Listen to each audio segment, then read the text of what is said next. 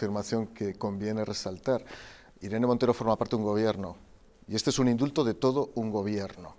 En mi época de secretario de Estado y subsecretario, cuando hacíamos indultos, cuando elevábamos indultos al Consejo de Ministros, hacíamos un análisis muy riguroso para ver qué tipo de delitos y delincuentes que estaban sometidos evidentemente al régimen carcelario, al régimen penitenciario, íbamos a indultar y no había indultos ideológicos, ni por sesgo, ni por filtro ideológico.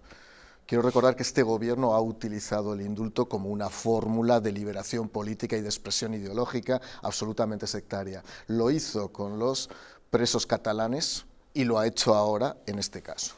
En segundo lugar, no podemos sustituir el machismo tradicional por el embrismo del siglo XXI. Es volver a la Inquisición.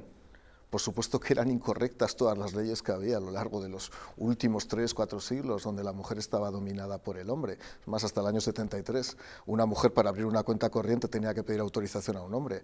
Pero lo que no se puede hacer es invertirlo, porque entonces estamos rompiendo el principio de igualdad.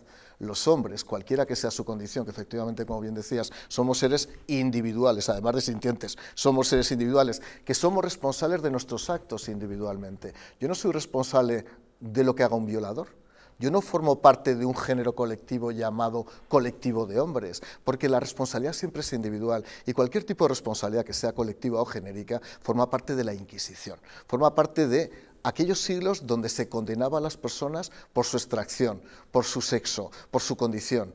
Precisamente el gran avance de los estados modernos, de los estados liberales de derecho, es que la presunción de inocencia existe y que hay que probar cuando se produce una causa de este estilo.